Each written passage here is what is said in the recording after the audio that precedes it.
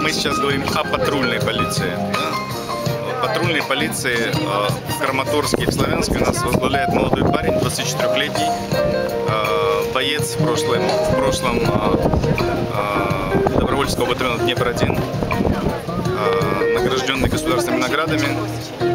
Человек с энергией и которому, которому можно доверять. А вся структура э, национальной полиции, которая подвергается сейчас реформе, она шаг за шагом обновляется. Вы знаете, что идет аттестация до конца июля. Аттестация пройдет и в Донецкой области.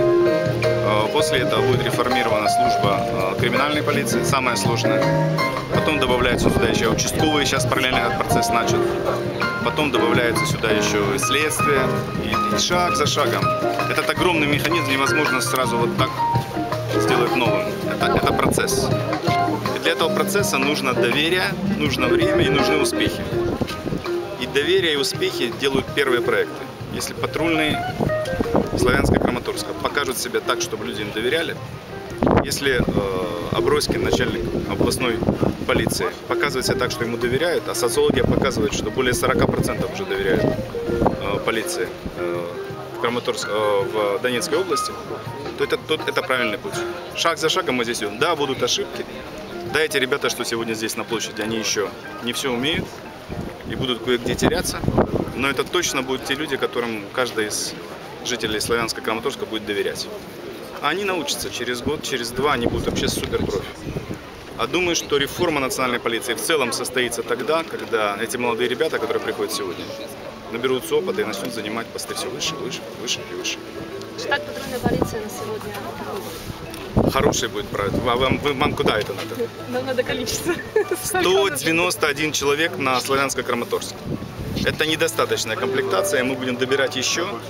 Но это те люди, которые смогли пройти все испытания, все экзамены, все обучение в Харькове, стажировку в Харькове.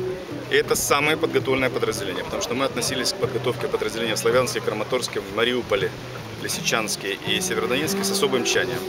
Поэтому я думаю, что пока дополнительно у вас будет еще вот эти 200 человек на два города, и потом в ближайшие полгода это будет еще добавляться. В плане технического оснащения у них есть все. В плане технического оснащения у них есть все. Новые автомобили Duster, э, новые э, эти, Приусы, они оснащены будут точно так же, как и полицейские э, в столице. Вот. Чего-то будет не хватать. Нам бы хотелось иметь аэропланы, ракеты и все остальное, но это все придет чуть позже. Дополнительно к ним будет подключаться чуть позже новая система мониторинга и наблюдения за ситуацией на улицах на основе на видеокамер и систем распознавания. Этим занимается генерал Обройский. Э, Дополнительно потихонечку будет включаться общая единая система 102, то есть на основе э, той системы цунами, которая будет управлять патрульными нарядами. Это все сложная ситуация. Тут, еще раз повторяюсь, важно идти шаг за шагом.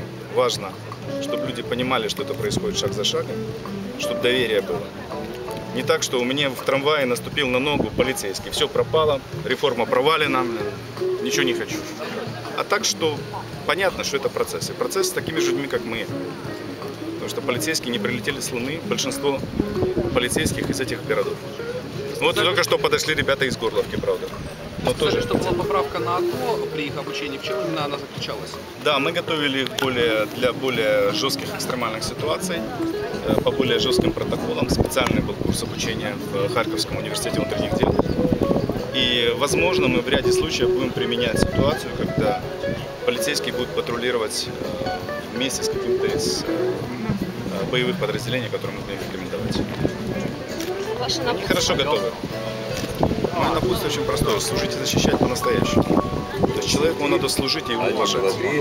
И помогать ему, а не искать, где он э, что-то нарушил, чтобы его 122, тут же 1, поставить. 2, на место. 3. И, соответственно, то, что хочу пожелать жителям Славянска, доверяйте своим полицейским. Краматорска тоже, конечно.